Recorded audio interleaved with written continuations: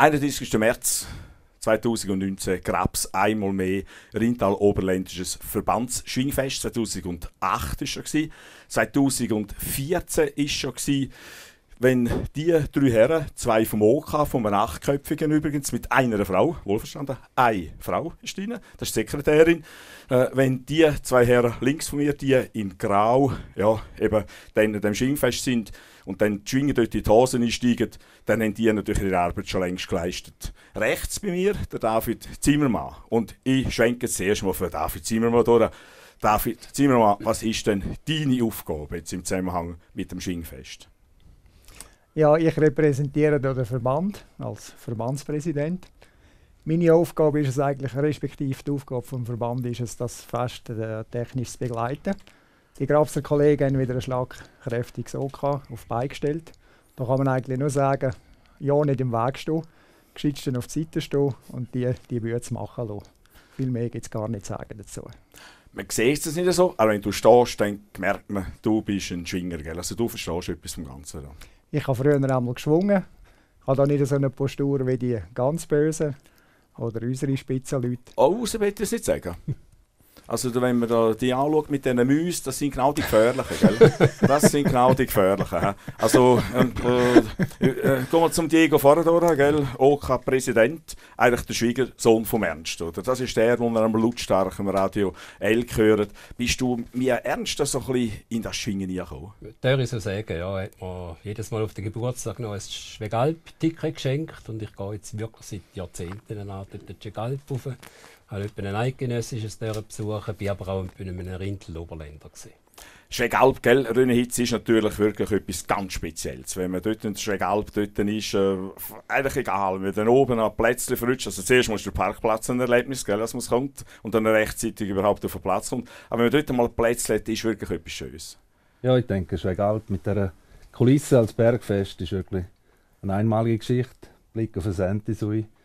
Und, äh, ja, Moment, schön. was schaust du nicht mehr auf Sentis, oder? Ja, zwischendurch jetzt. Ah, zwischendurch eben, gell? Aber sonst, ja, der Kessel, glaube, kann man wirklich sagen, ein Hexenkessel auf der Schwegalp, ist äh, ein tolles Erlebnis und empfehlenswert, wirklich für jeden mal. Kommt denn das bei euch auch so? Also, haben ihr schon etwas gemacht, dass ihr auch ein bisschen äh, Schwegalp oder haben das nicht alle auf den Mergelkopf schauen. Was ist denn die Attraktion, dass Grabs im Unterdorf? Du bist ja eigentlich derjenige, der Marketing macht. Du müsstest das jetzt ja verkaufen, vor allem die, die nicht so Schwingerfans sind. Weil die, die den Schlussgang kennen, die Schwingerfans sind, die können ja ohnehin. Aber warum sollen denn die anderen kommen?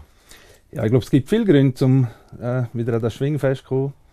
Erstens haben wir ein super, super Teilnehmerfeld. Wir sind Insgesamt 100, gell, glaube ich? Äh, sind mittlerweile 121 Schwinger gemolden. Hoppla. Das heisst, die Resonanz ist auch in den Schwingerkreisen sehr groß gewesen. Wir sind einmal von 100 ausgegangen, haben jetzt aber die 121. Was wir haben, sind neue Eidgenossen am Start. Wir sind eines der ersten, oder ich sage jetzt das erste Freiluftfest ähm, in dieser Region. Und wir haben hier ein eidgenössisches, die Schwinger wollen zum Keller rauskommen mal schauen, wo stehen. Wir haben neue Eidgenossen, wir haben neuen Teilverband, Kranzer und etwa 30 Sus, Kranzschwinger. Also sehr ein gutes Feld und wir bieten natürlich auch Punkte in Infrastruktur. Sehr eine gelungene Sache hier in Grabs. Also. Ja, David, also ist das jetzt einmal einfach mal der Schwinger unter uns gefragt. Das ist noch wichtig, dass man jetzt gute Resultate macht. Also der äh, Orlik ist auch dabei, gell? hat das erste Schwinger gewonnen in Zürich unten. Ich glaube, das Berchtold Schwinger oder wie man dem sagt, weiß nicht genau. Der ist auch dabei. Ist das wichtig, dass man jetzt am Anfang gute Resultate macht, wenn man den Zug auch zugelassen wird? Das ist sicher so. Für die Leute ganz an der Spitze geht es natürlich auch darum, mal eine erste Standortbestimmung.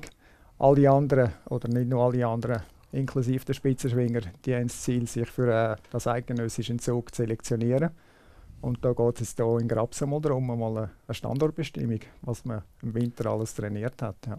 Ein Schwingerkönig beim Eidgenössischen haben wir nicht dabei, oder? Aber wir haben einen unspunnen Sieger, glaube der Daniel Bösch 2011, gell, der glaube kommt. Aber glaube einen wirklichen Schwingerkönig haben wir nicht dabei, oder?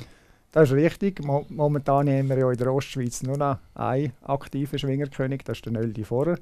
Er hat sich da noch nicht angemeldet. Weißt du warum? Der ist momentan unterwegs mit, Garn und Julie Zock. Der ist jetzt mehr auf der Ski. Er hat mir versprochen, meldet sich sonst wieder einmal. Er sei auch fit und so. Aber er hat sich nicht angemeldet, gell, jetzt da? Meines Wissens noch nicht. Vielleicht kann der René oder der Diego noch etwas sagen. Ich darf aber sagen, ich glaube, wir haben auch sonst ein ganz illustres Teilnehmerfeld.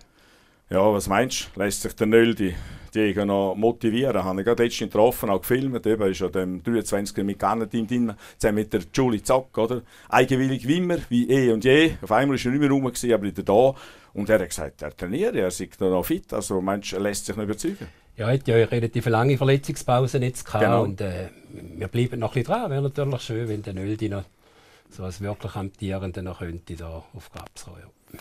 Gell? Wir zwei, du und ich, also irgendwie ist schon der Ernst, gell, wo uns das fast fasziniert ja. hat. Also, oh, weil ich kann mich gut erinnern, also ohne Ernst da wäre ich x-mal versägen gewesen. Gell? Also hätte ich gerne gewusst, was sich irgendwie wo abspielt und es ist auch recht kompliziert. Kommst du da inzwischen raus? Also ja. von 8,5 bis 10? Extrem. Ich weiss, wie viele Punkte es eine Niederlage gibt, wie viele Gestellte, variiert noch und ein, ein Sieg weiss ich auch 10 oder 9, 7, 5. Also die Begriffe, die habe ich intus. Ja. David, geht denn das wirklich immer mit richtigen Dingen zu und her? Weißt, ich kann mich erinnern, der Abderhalten, kannst du dich erinnern, gell, wo er dort am zweiten Tag im ersten Gang dann eben gegen, weiss, gegen Wenger, glaube ich, dort dann verloren hat, lange in der Brücke gelegen ist und so weiter, hätte es am Schluss ja eigentlich noch müssen, lange, wenn man dann einen anderen Schlussgang gemacht hätte, dann ist aber dann gleich die Diskussion auf einmal losgegangen, lassen wir es der Abderhalten nochmal in den Schuss gehen, haben wir gesagt, nein, jetzt nicht mehr, weil eben natürlich der andere gewonnen hat und so. Ich hatte manchmal das Gefühl, er hat da so ein bisschen, aber nach Sympathie etwas äh, Partien zusammengesetzt. Kann das sein oder täusche ich mich da? Ich glaube, du täuschst du dich. Ich glaube, die Schwingerszene die steht heute mittlerweile auch so in der Öffentlichkeit. Wir können uns das nicht leisten, so etwas zu mauscheln. Oder solche ja. Sachen, die du hier angesprochen hast. Das muss mit sauberen Sachen ablaufen oder äh, gewährleistet sein, dass da gemäß Regulativ das Ganze abgehandelt wird.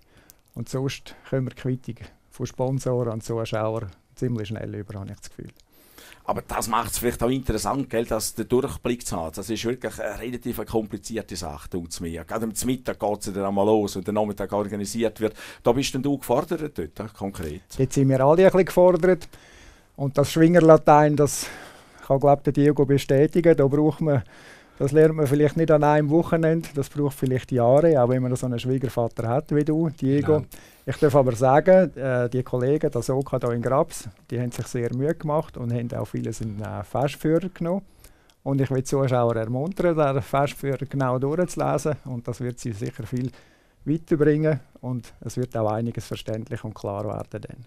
Und gell, manchmal ist es auch sehr, sehr modebewusste Schwinger. Weißt, bei Michael Bless ist mir schon mehrfach aufgefallen, auch wenn es ganz hart auf hart geht, er tut sich immer zuerst noch ein bisschen strählen. Wir müssen mal achten, er geht immer noch schnell so ein bisschen schauen, Scheitel auch mal. Kann ganz sicher sein, er fällt einem beim Schwingen auf. Also, also das, das, spielt auch eine gewisse Rolle, gell? So. Möglicherweise eine gewisse Eitelkeit ist da nicht abzustreiten, da gebe ich dir recht. Diego, äh, du bist auch sehr ein sportlicher Mensch. Also, hast du auch schon mal überlegt, in die Hose zu steigen? Ja, mal etwas schon. Ja. Also. Du, nein, ich habe 30 Jahre geshootet, glaube Und die Knie sind jetzt kaputt und jetzt wollen wir nicht noch etwas Neues anfangen. Und was, was, äh, was habt ihr bis jetzt gemacht? Also das ist ja äh, relativ äh, viel, was ihr mitmacht. Ich habe gesagt, dass wenn die Schwinger dann die 121 jetzt in die Hose steigen, dann sind ihr natürlich vorher schon längst in die Hose gestiegen. Also das ist eine riesige Organisation. Was ist jetzt bei euch so abgegangen bis jetzt? Da ist es so. Also der Ursprung ist äh, Sommer 2017, kann man sagen. Der René ist so ein bisschen der Initiant äh, der René hat einfach die Idee gehabt, du, äh, komm, Schwingenfest in Grabs, das passt irgendwie. und wir sind dann so ein im Gespräch hineingeblieben und dann haben wir gesagt, ja, gute Sache. Der René hat auch immer den Kontakt zum Verband gehabt. Und äh, dadurch, dass wir das jetzt, die letzten Jahre also zwei Monate durchführen, ist für uns klar gewesen, mal, das machen wir. Und dann noch zwei, drei Bier und noch ein bisschen Überredungskünste haben wir gesagt, mal, ich mache das OK-Präsidium und wir haben wirklich eine schlagkräftige Truppe können zusammenstellen im OK. Wir sind auch wirklich fünf äh, OK-Mitglieder, die gleichzeitig noch in den Männerriegen sind. Also auch der Hauptverein ist da sehr, sehr gut repräsentativ vertreten. Wir haben den FC noch ein bisschen mit eingenommen. Und der René, der natürlich in allen Vereinen in dem Sinn, im Turmverein und so weiter groß geworden ist. Und eben eine Sekretärin haben wir noch gebraucht und da sind wir gerade davor haben wir mit der Katrin Fettstall eine ganz tolle, gute Fee. Aber eben, äh, wir haben im, die erste OK-Sitzung irgendwie im Herbst äh, 2017 durchgeführt. Wir haben nachher definiert, dass es Männerriegen wird sein und dann Step by Step. Wir sind gerade heute Abend wieder noch eine OK-Sitzung haben und das ist gleich die zehnte Sitzung, die wir hier haben. Aha, also heute Abend, müssen wir vielleicht sagen, ist Anfang März, gell? also Genau. geht das noch ein bisschen. Äh, Röni, bist du noch ein bisschen ein Schwinger? Ich meine, es gibt ja auch Schwinger mit Innerpostur, wird er nicht nachtreten, aber es gibt ja auch Schwinger mit Innerpostur. Wäre schon noch einer, also mal Power hast du auf jeden Fall.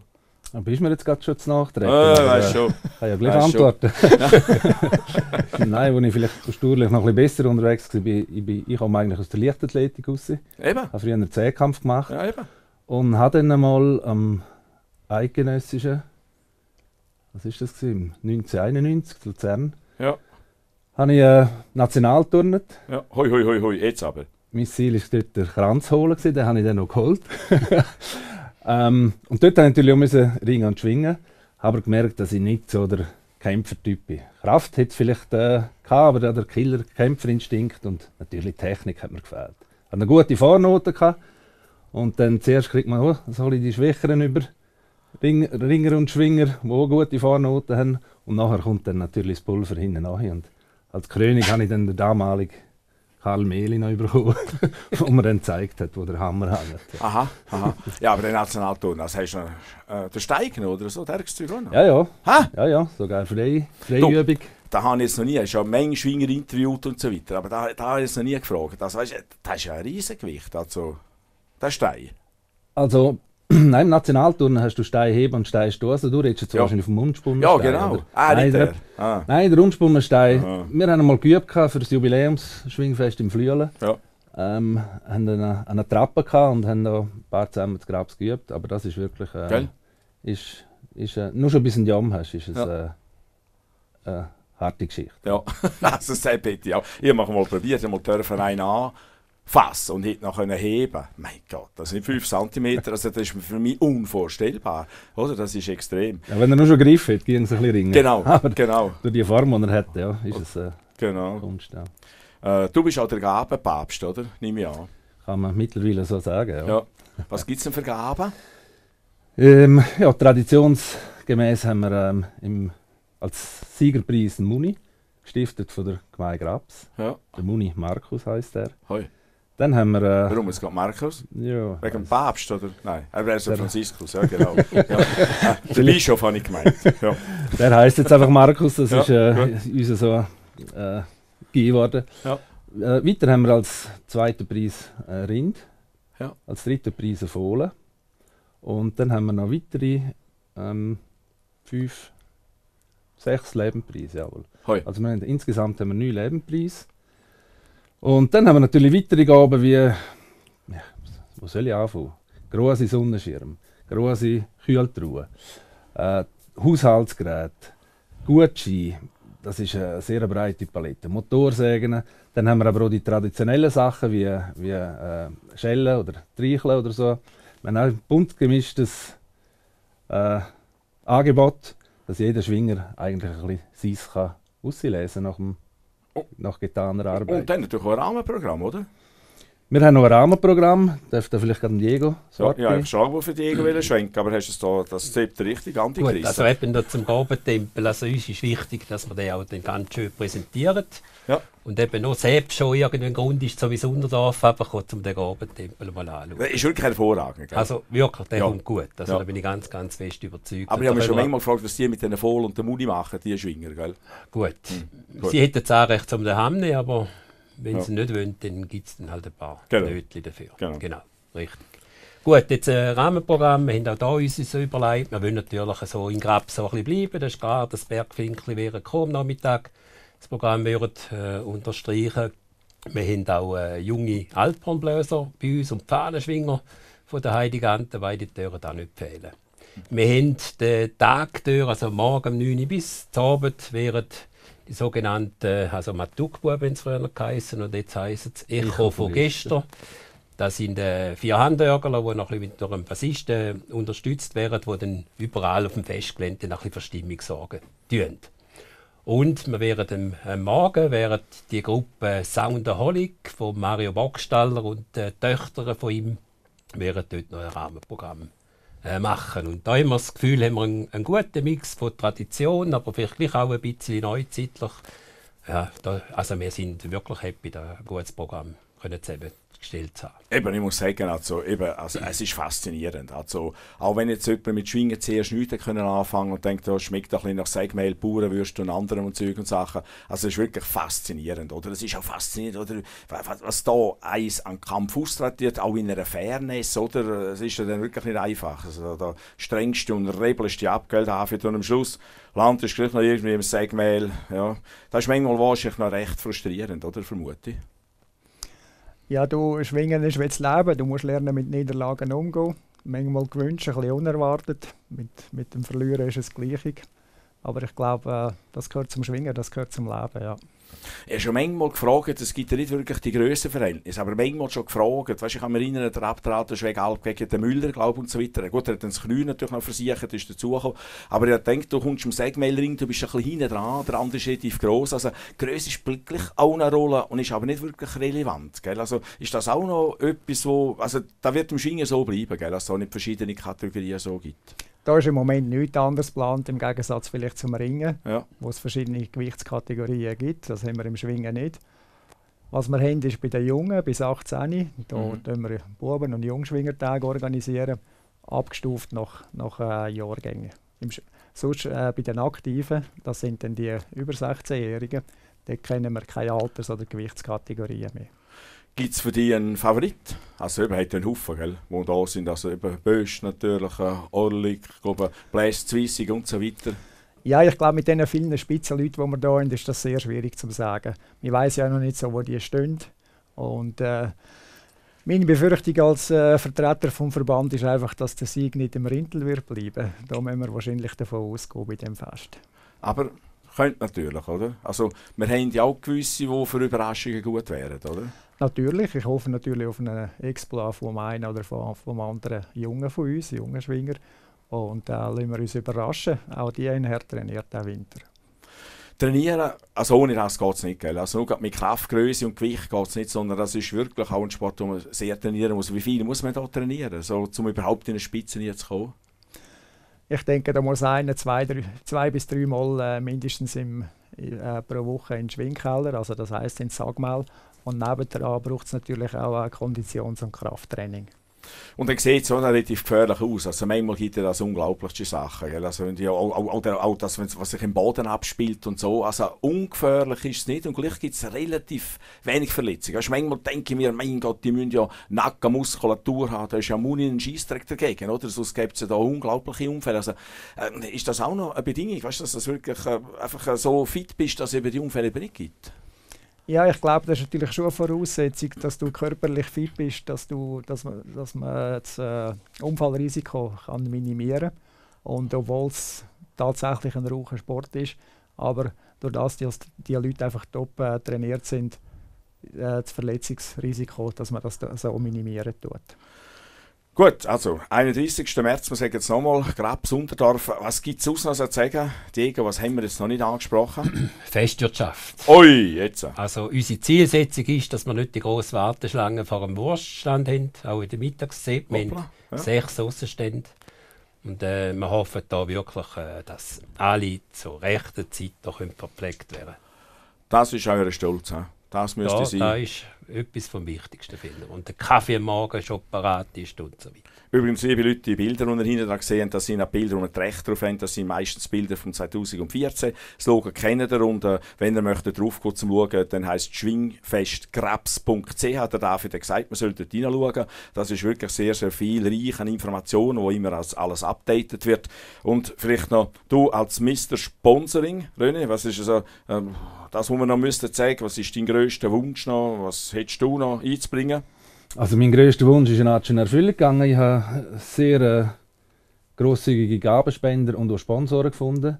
Man sieht Schwingen, äh, die Fairness, die ihr vorher angesprochen habt, die schwappt hier über und Schwingen wird immer wieder gerne unterstützt und hat praktisch kein Problem gehabt, um die Sponsoren und eben Gabenspender zu finden. Was noch zu sagen ist, es ist ja im Unterdorf, Schulanlage Unterdorf, ähm, bei schönem Wetter, hoffentlich auch bei schlechterem Wetter, erwarten wir aufgrund vom Teilnehmerfeld, aufgrund von der Bekanntheit, wo wir mit Grabser Schwingfesten haben, recht viele Zuschauer. Die Kassenöffnung ist am Morgen um 8 Uhr. Und ihr roten Leute früh genug dort zu sein, dass so ein guter Platz dann ergattern kann, um das, die Kämpfe heute noch verfolgen können. Anfahrt möglichst mit Zug, Velo oder zu Fuß. Genau, Anfahrt am liebsten natürlich mit dem Zug, die, die von weiter her kommen. Mm, die, die mit dem Auto kommen oder so, haben wir ähm, die Vidella, Pago, Lipunrion, haben wir Parkplätze mit signalisierten Fußweg. Dann haben wir gerade beim Festplatz selber haben wir äh, Veloparkplätze und wir hoffen natürlich, dass möglichst viel äh, mit dem Velo oder zu Fuß kommt. Alles in allem, he? Diego, wirklich äh, super Sache. Kurz vor deinem Abgang als Gemeindepräsident nach Uznach sorgst du noch für Furore hier in Grabs. Also, was meinst du, wird es auch weiterhin mal wieder ein Schwingfest geben? Alle guten Dinge sind drei, sagt man, aber hängen immer der Männerreiche und Männerreiche äh, am Engagement natürlich. Also eben, da haben wir jetzt noch gerne nicht angesprochen. Also, ich meine, die Motivation jetzt auch in den Männerregen ist enorm. Also wir haben 120 Mitglieder und von den 120 wären etwa 80 Stock an dem Schwingfest helfen. Wir haben andere Vereine noch angesprochen und äh, können uns helfen. Wir sagen schreiben 250 Helferinnen und Helfer, die uns da unterstützen. Und da die Solidarität, die dem Grab spielt, das ist sensationell. Und das ist eine von meinen Zielsetzungen, dass ich das Zuznach dann auch anbringe. das ist schon klar. David, meine Zielsetzung wäre, und das hat man mir schon mehrfach gesagt, äh, dass man auch Schwingerinnen mal zulässt. Hm. Ist so etwas überhaupt denkbar? Ja, wie du sicher auch mit überkommen hast, gibt es ja auch Schwingfest für Frauen. Das schon. Und was wir im Moment nicht haben, sind so gemischte Anlässe. Ja. Und äh, ich kann da eigentlich gar nicht viel dazu sagen. Weißt du, jetzt, weil du ein Schwinger bist, weißt, weißt, das, ist das eine völlig Schnapsidee? Wäre technisch auch gerne nicht möglich. Also so, weißt, dass, dass die Frauen einfach wirklich chancenlos wären, um weit vorne zu kommen. Ja, so weit habe ich jetzt noch gar nie studiert. Ja, gut. Aber ich befürchte, von der, rein schon aufgrund von der körperlichen Überlegenheit der Männer ja. denke ich, wird das sehr schwierig für die Frauen.